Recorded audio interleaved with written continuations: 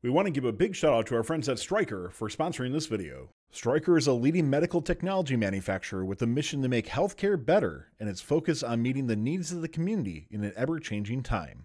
Stryker knows that some of the best minds come from first and want to support your career path and your first journey as a mentor or volunteer.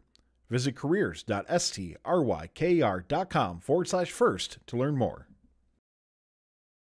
Hi, I'm Colin Sherman here for First Updates Now at the Greater Kansas City Regional. I'm here with Team 1986, Team Titanium, and they're going to tell me more about the robot.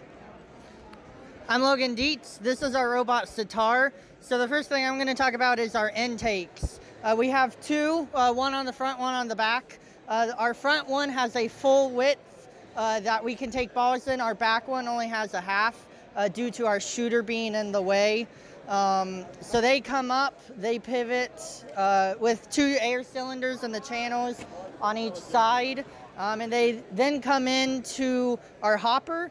Um, our hopper is powered by a 550 down below, um, and these brushes uh, whisk them to get them into position uh, and to line them up for the shooter. My name is Miles. I'm going to talk a little bit about the shooter here. Uh, we're running an 8-inch flywheel on three Neos. Those are geared fairly high, so we can shoot from far away. Uh, we have an infinitely variable hood, and that's running on an AndyMark motor with a potentiometer for distance.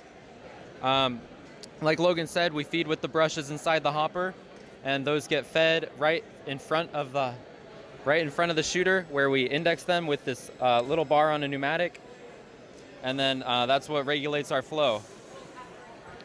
Our climber, my name is Andrew. Our climber is actually pretty simple. It starts with this uh, 16th inch tube aluminum right here. Uh, when we need to climb, this piston, this piston activates the arm to go up. Once the arm releases, this pull, this, pist- this little pin pulls out, releasing the, new, the elastics on the arm. The arm then extends while in the air, and the, this red hook here hangs in the very center mass of the robot.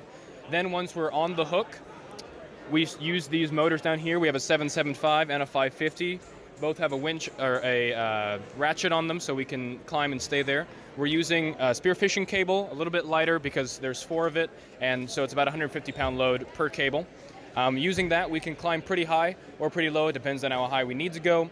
And with this hook, um, we don't slide side to side. Awesome, a really impressive robot. Good luck today, and that'll be it. Thanks for watching. If you want more fun content, be sure to subscribe and ring the bell to be notified about our latest videos. You can also directly help support Fun by visiting our Patreon at patreon.com forward slash first updates now or by subscribing at twitch.tv forward slash first updates now. Thanks to all of our co-executive producers on Patreon and Tier 2 Plus subscribers on Twitch, keeping fun loud, live, and independent.